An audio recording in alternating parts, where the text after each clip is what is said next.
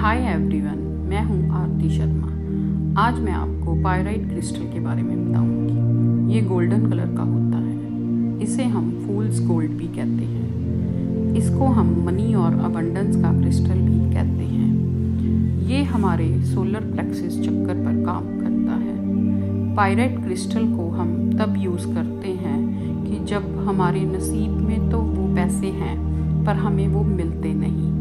तब हमें इसका यूज़ करना चाहिए। इसे आप अपने कैश बॉक्स में रखें, जहाँ आप अपना पैसा रखते हैं। इसे हम वॉलेट पे या पर्स में भी रख सकते हैं। ये क्रिस्टल आपके पर्स की प्रोटेक्शन करता है। अगर किसी को बुखार हो जाए तो वो उतर ना रहा हो तो भी आप ये क्रिस्टल उसको दे सकते हैं। इसे अपने पास रखने से उसका बुखार ठीक हो जाएगा। ये आपका लक भी एनहेंस कर देगा। इसको आप अपने हाथों में पकड़ कर रखें कुछ देर के लिए, तब भी ये आपको बेनिफिट देता है। ये आपकी मनी को अट्रैक्ट करने वाली वाइब्रेशन को बढ़ा देगा। ये आपको हर प्रकार की थकावट से बचाता है, चाहे वो मेंटली हो या फिजिकली हो। इसका ब्रेसलेट डालने से ये आपको पोल्यूशन से भी बचाता है। ये आपके आसपास ऐसा घेरा बना देगा। जिससे आपको पोल्यूशन का कोई नुकसान नहीं होगा। अगर कोई हाउसवाइफ है तो वो भी इसे अपने पास रख सकती है। अगर इसे आप अपने लॉकर में रखोगे तो वहाँ जो भी होगा, ये उसे बढ़ाने लग जाएगा।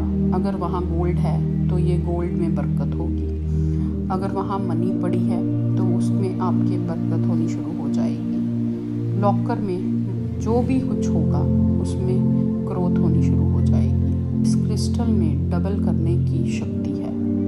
चाहे वो मनी हो या गोल्ड हो, कुछ भी। इसका मतलब ये नहीं है कि अगले दिन ही आपकी लॉटरी लग जाएगी। ये धीरे धीरे धन को आकर्षित करता है। ये मनी को अट्रैक्ट करता है उतना ही जो आपकी किस्मत में है, वो आपको मिल जाएगा। क्रिस्टल आपके विचार भी पढ़ लेता है, इसीलिए इसको पहनकर कभी भी नेगेटिव ना सोचें। इसके बारे में ये मत सोचें कि पहन तो लिया है, पता नहीं काम करेगा या नहीं करेगा। अगर आप नेगेटिव सोचेंगे तो ये हंड्रेड परसेंट नेगेटिव रिज़ल्ट देगा।